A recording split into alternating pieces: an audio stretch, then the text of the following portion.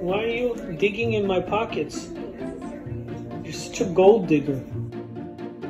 Yani was really the queen of the house. If she really wanted something, she would get that. This taping doesn't work. She could go and jump into the washing machine, bury herself under, you know, clothes or shoes. So there were a lot of ripped furniture around the house.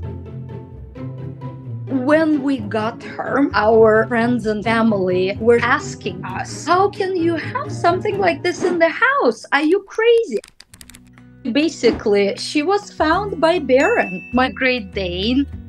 My husband and I we were walking him early in the morning, and he came across her.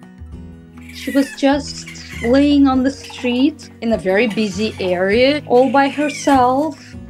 She was very tiny. I believe she was extremely dehydrated at that point. We thought maybe the mother is somewhere around, you know, maybe she will be back but she wasn't coming back. So we decided we have to help. That's it. We went to a licensed wildlife rehabber. And she told us a lot of things about raccoons, how to handle them. She was more needy at the beginning because mother was not there and she was having seizure so basically, we were playing that role of mother for her.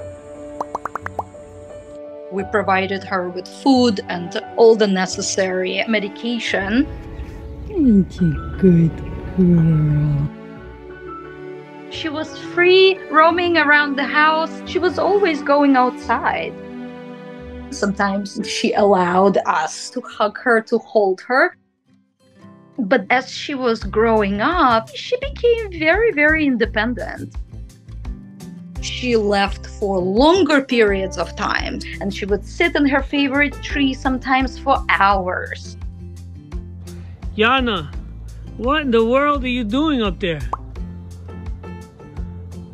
we felt like she just started being not as comfortable in the house. And we saw how she wanted to go. She lived with us for more than a year. The seizures fully stopped, and we decided eventually to release her through the rehabber.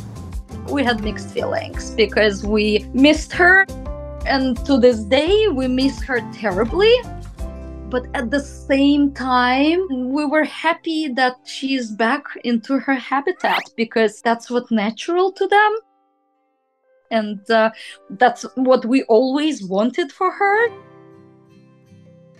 if you are rescuing or thinking of adopting an exotic animal, please make sure to contact professionals and do your research so that they can have the best life possible.